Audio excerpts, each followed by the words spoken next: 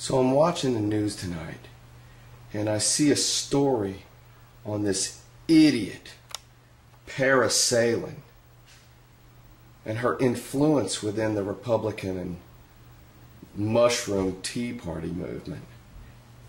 And as they're telling me the story, I see this. Part Murkowski has the support of most of the Republican establishment, although she is not as conservative as Miller. Whatever happens in Alaska, the Tea Party movement has already had a big impact on the Republican Party this year. So far, Tea Partiers have emerged as the Republican candidates of choice. And I'm like, what? Whoa, whoa, whoa, whoa.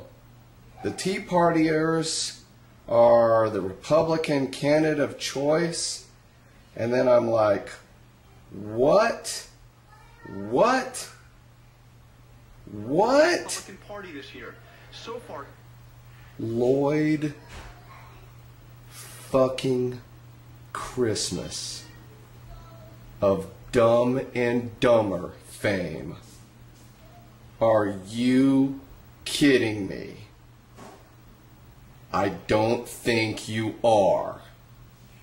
Go, Tea Party movers. Go, parasailing.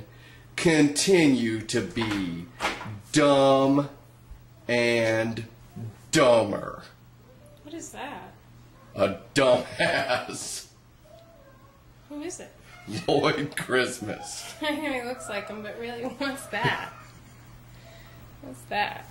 Lloyd effing Christmas. Wait till you hear the story. Don't It's, spill the salt. it's about parasailing and her influence. Political rallies. He's got the backbone to confront Obama's radical agenda. Radical. By contrast, Lisa Murkowski has voted with the Democrats more than any Republican up for re-election this year.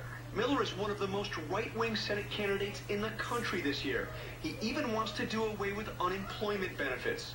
For her part, Murkowski has the support of most of the Republican establishment, although she is not as conservative as Miller. Whatever happens in Alaska, the Tea Party movement has already had a big impact on the Republican Party this year.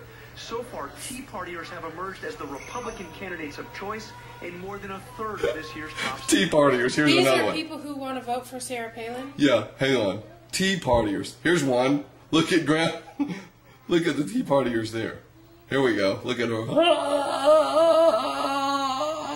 I'm dying. Look at this guy, doofus. Look at this guy.